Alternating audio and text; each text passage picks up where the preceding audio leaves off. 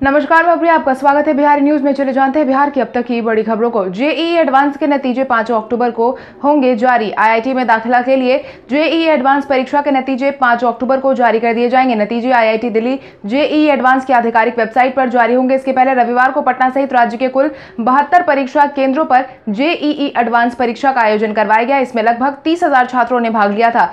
सुबह से ही परीक्षा केंद्रों पर छात्रों की भीड़ जमा होने लगी थी। दो पालियों में आयोजित परीक्षा के बाद छात्रों ने बातचीत में छात्रों ने बताया कि मिले जुले प्रश्न पत्र देखने को मिले। परीक्षा सामान्य रूप से हो गई है। छात्रों ने रसायन शास्त्र के प्रश्नों को सरलता से हल कर लिया। इसके साथ ही छात्र गणित व कुछ फिजिक्स में उलझते भी नज़र आए। अपियरिंग छात्रों को परेशानी ज़्यादा देखने को मिली। कम मतदान वाले बूथ पर अधिकारियों की टीम करेगी रिसर्च कम मतदान वाले बूथ को लेकर जल्द ही रिसर्च किया जाएगा। मिली जानकारी के अनुसार मतदान का प्रतिशत क्यों कम रहता है और मतदाताओं में जागरूकता क्यों नहीं हो रही इस दिशा में काम किया जाएगा। प्रदेश के सभी जिलों में कम प्रतिशत वाले मतदान केंद्रों पर एक विशेष टीम को लगाया जाएगा, जो कारण खंगालने के साथ ही मतदाताओं को मतदान के लिए जागरूक करने का काम करेगी पटना में रविवार को टीम का गठन कर दिया गया है, जो काम पर लग गई है। बिहार में 500 से ज़्यादा ऐसे मतदान केंद्र चिन्हित किए गए हैं, जहाँ वोट का प्रतिशत चौंकाने वाला होता है। वहीं स्पेशल टीम को यह पता लगाने की कोशिश करेगी कि आखिर कम वोट का कारण क्या है। वोट परसेंटेज को कैसे बढ़ाया जा सके, साथ ही सभी बूथ पर रिसर्च करेगी, साथ ही साथ आसपास के इलाकों को भी जायजा लेगी।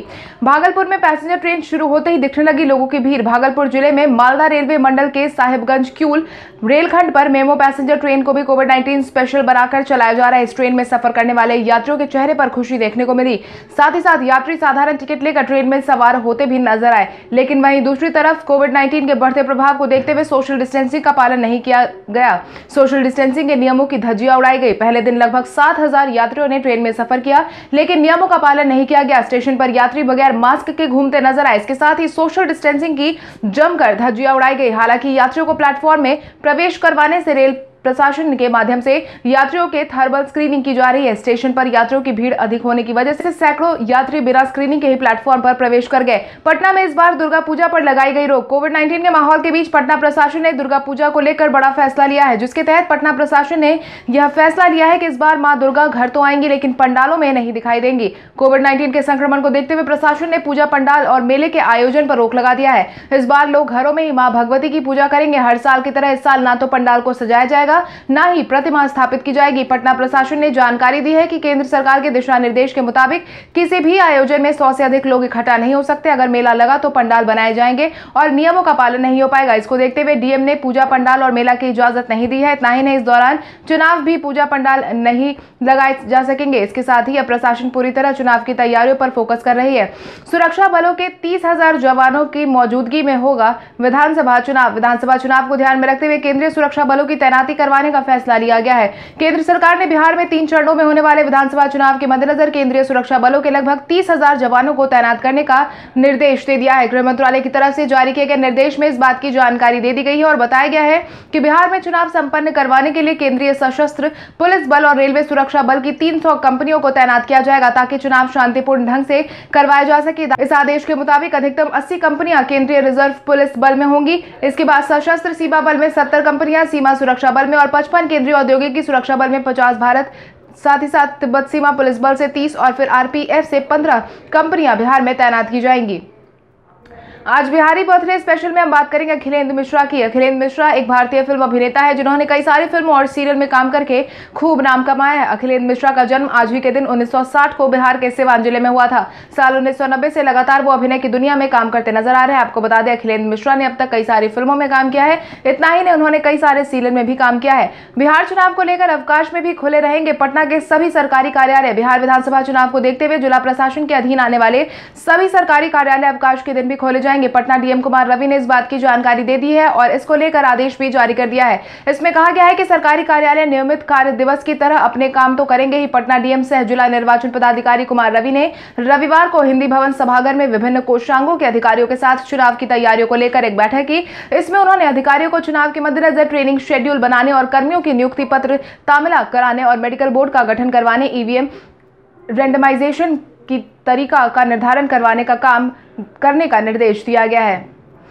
प्रदूषण कम होने के कारण विदेशी पक्षी नहीं लौटे अपने वतन। पिछले कई सालों से शहरवासियों के साथ साथ पशु पक्षियों को भी स्वच्छ हवा नहीं मिल रही थी। लॉकडाउन में तीन महीने तक वाहनों की आवाजाही कम होने, कल कारखानों और मानवीय गतिविधियों के थमने का अनुकूल असर पर्यावरण पर पड़ा है। इसी साल मार्च अप्रैल में लौटने वाले प्रवासी पक्षी यहीं रुके हैं। गंगा नदी के किनारे इस मौसम में स्थानीय पक्षियों के साथ साथ सैकड़ों विदेशी पक्षियों को भी देखा जा सकता है। लाल सर नील सरपायल लेबोकेट, मरचंगा घूम रहे हैं और साथ ही साथ बड़ा गुड्डा आदि पक्षी यहाँ अभी तक मौजूद है। यही पक्षी साइबेरिया, रूस, अलास्का, मंगोलिया, तिब्बत एवं मध्य यूरोप से आते हैं। नवंबर में जब इन इलाकों की नदियाँ, झीलों का पानी जम जाता है तो भारत का रुख करती हैं। बागलपुर में यह पक्षी गंगा नदी के किनारे डेरा डालते हैं और यह पक्षी मौसमी अनुकूल नहीं रहने के कारण अपने देश में प्रजनन नहीं करते हैं। इसके साथ ही ऑस्ट्रेलियाई पक्षी मैपाई रॉबिन इस बार यहीं रुक गए हैं। आगामी विधानसभा चुनाव में हेलीकॉप्टर की बुकिंग को लेकर सुस्त पड़े राजनीतिक दल। पिछले विधानसभा चुनाव में हेलीकॉप्टरों की उड़ान में जहाँ 70 करोड़ रुपए खर्च किए गए थे, वहीं इस बार चुनाव आयोग द्वारा बड़ी रैलियों पर रोक लगाए जाने के बाद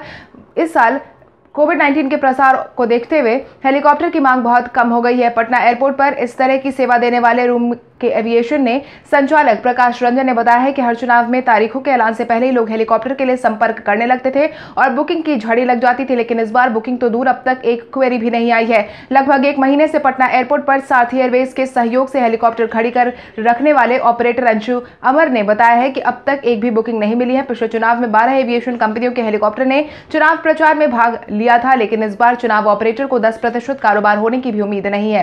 राजद में शामिल हुई लवली आनंद, तेजस्वी यादव ने दिलाई सदस्यता। राजद में लवली आनंद शामिल हो गई है। लवली आनंद ने राजद का हाथ थामते ही कहा कि वर्तमान सरकार लोगों के साथ अन्याय कर रही है। आनंद मोहन समेत सभी बड़े नेताओं को सलाखों के पीछे भेजने का काम किया है। इस सरकार ने यह सरकार धोखेबाजी है, लेकिन जनता अब इस सरकार का हिसाब लेगी और इसको सबक सिखाएगी। हमारे साथ सभी वर्ग के लोग हैं। आनंद मोहन के बेटे चेतन आनंद ने कहा कि हमारे साथ धोखा हुआ है। महाराणा प्रताप जयंती के दिन क्या कहा गया था और यह क्या हुआ है आपको बता दें। लवली आनंद के साथ चेतन आनंद ने भी राजद की सदस्यता ली है। आपको बता दें, सदस्यता लेने से पहले राबड़ी आवास पर लवली आनंद तेजस्वी यादव से मिलने पहुँची थी। बिहार विधानसभा चुनाव को लेकर सभी राजनीतिक दलों के लिए जारी हुई गाइडलाइन बिहार विधानसभा चुनाव को लेकर निर्वाचन आयोग ने सभी दलों के लिए गाइडलाइन जारी कर दी है। इसी क्रम में चुनाव प्रचार कार्यक्रम को लेकर गाइडलाइन जारी की गई है, जिसके तहत कोविड नाइन्टीन संक्रमण को देखते हुए पाँच व्यक्तियों को घर घर चुनाव प्रचार करने की अनुमति दी गई है, जिसमें उम्मीदवार के साथ सुरक्षाकर्मी की संख्या में शामिल नहीं होगी, जबकि रोड शो के दौरान गाड़ियों के काफिले का दस की जगह पाँच अलग अलग कर दी गई है। इसमें सुरक्षा वाहनों को छोड़ दिया गया है। पहले से निर्धारित सौ मीटर की दूरी के बदले वाहनों के दोनों समूह के बीच आधे घंटे का अंतर रखा जाएगा। चुनाव प्रचार कार्यक्रम में राजनीतिक दलों और प्रत्याशियों को कोविड 19 से बचाव के सभी उपाय करने होंगे। राजनीतिक दल और प्रत्याशी को सुनिश्चित करना होगा। बिहार विधानसभा चुनाव को लेकर तेजस्वी सूर्या पहुँचे पटना। बिहार विधानसभा चुनाव को लेकर पटना के नवनियुक्त भारतीय जनता युवा मोर्चा के राष्ट्रीय अध्यक्ष सांसद तेजस्वी सूर्या पटना पहुँच चुके हैं। सोमवार को युवा संसद कार्यक्रम में भाजपा कार्यकर्ताओं में जोश भरेंगे, जिसकी जानकारी उन्होंने खुद ट्वीट करके दी है। उन्होंने लिखा कि आज मुझे सामाजिक समता और समानता का उद्घोष करने वाले श्री बसवन्ना की पवित्र धरती कर्नाटक से भगवान बुद्ध की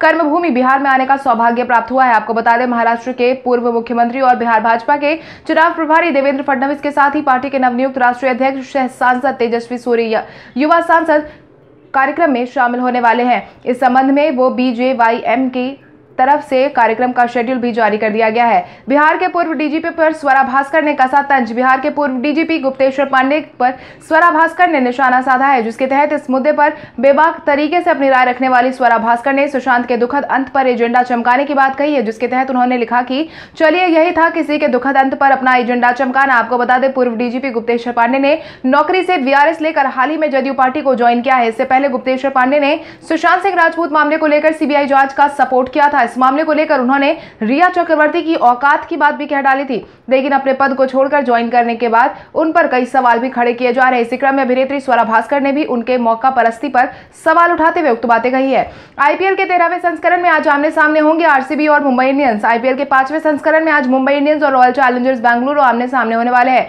टूर्नामेंट में जीत के साथ शुरुआत करने वाली आरसीबी इस मैच में तेज गेंदबाजों की कमियों को दूर करना चाहेगी। किंग्स इलेवन पंजाब के खिलाफ उनकी बल्लेबाजी ताश के पत्तों की तरह बिखर गई थी। तो पहले मैच में सनराइजर हैदराबाद के खिलाफ प्रभावी जीत मिली थी मुंबई इंडियंस ने भी। अब तक दो मैच खेले हैं। उद्घाटन मुकाबले में मुंबई इंडियंस को हार मिली थी, मगर के के खिलाफ विशाल जीत मिली। जिसके बाद आज सभी प्रशंसक काफ़ी ज़्यादा उत्साहित है, क्योंकि सभी विराट कोहली और रोहित शर्मा को आमने सामने देखने वाले हैं।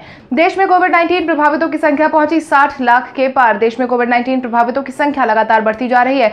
स्वास्थ्य मंत्रालय की तरफ़ से साझा की गई जानकारी के अनुसार बीते चौबीस घंटे में कुल मिलाकर बयासी नए मामलों की पुष्टि की गई है, जिसके बाद प्रभावितों की संख्या बढ़कर साठ लाख चौहत्तर हज़ार सात सौ दो पर पहुँच गई है। वहीं दूसरी तरफ़ कोविड नाइन्टीन से अब तक ठीक होने वाले मरीजों की संख्या में भी बढ़ोतरी देखी गई है। अब तक कुल मिलाकर पचास दशमलव एक सात लाख मरीज़ ठीक हो चुके हैं। वहीं बीते चौबीस घंटे में एक हज़ार उनचालीस लोगों की जान जा चुकी है, जिसके बाद जान गंवाने वालों की संख्या बढ़कर पंचानवे हज़ार पाँच सौ बयालीस पर पहुँच गई है, जिसके परिणाम स्वरूप अब अस्पतालों में नौ लाख बासठ हज़ार छह सौ चालीस मरीज़ सक्रिय है। देश में रिकवरी दर की बात करें तो इसमें थोड़ी सी बढ़ोतरी देखी गई है, जिसके बाद रिकवरी दर बढ़कर बयासी दशमलव पाँच आठ प्रतिशत पर पहुँच गई है। वहीं जान गंवाने वालों की दर में गिरावट देखी गई है, जिसके बाद यह दर एक दशमलव पाँच सात प्रतिशत पर पहुँच गई है। तो चलिए बढ़ते आज के सवाल की और आज का सवाल कुछ इस प्रकार है। आपके अनुसार मुंबई इंडियंस और रॉयल चैलेंजर्स बेंगलुरु में से किसका पलड़ा ज़्यादा भारी लग रहा है? अपने जवाब हमें कमेंट करके ज़रूर बताएँ। इसके साथ ही आज के लिए बस इतना ही। बिहार की बड़ी खबरों से अपडेटेड रहने के लिए हमारे यूट्यूब चैनल को सब्सक्राइब करें और बेलाइकॉन दबाना ना भूलें। धन्यवाद।